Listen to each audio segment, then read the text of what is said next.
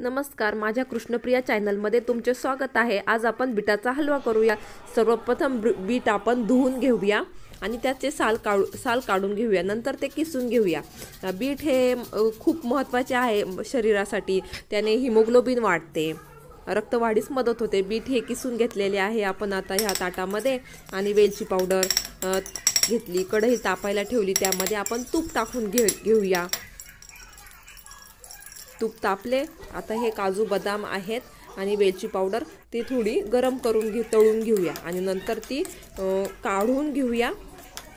इथे आपण ते काढून घेऊया. आता हे बीट आपण फ्राय म्हणजे कढईत टाकले आणि ते आता फ्राय करून घेऊया चांगले. थोडे शिजवून देऊया. हा बिटाचा हलवा खूप उपयोगी आहे लहान मुलांना. शकतो. तो आपण त्यांच्या टिफिनला पण देऊ शकतो. आणि ही झटपट होणारी रेसिपी आहे. आदल्या दिवशी बीट सोलून वेग साळून ठेवायचे किसून ठेवायचे. आणि सकाळी पटकन पाच मिनिटात होणारी ही रेसिपी आहे. आता आपण त्याच्यामध्ये दूध ॲड केलेले आहे. मग आता हे दुधामध्ये पण चांगला बिटाचा हलवा शिजवून द्यायचा. चांगला हल हलवायचा पण. म्हणजे तो कढईत खाली डागत पण नाही. आता हलवला आपण हा पिठाचा हलवा. तो चांगल्या प्रकारे शिजला आहे की नाही थोडासा बघायचा. असा थोडा कच्चवट असला की त्यावेळेस त्याच्यामध्ये साखर ॲड करायची. आपल्याला आपल्या आव आवडीनुसार किती गोड खातो किती नाही.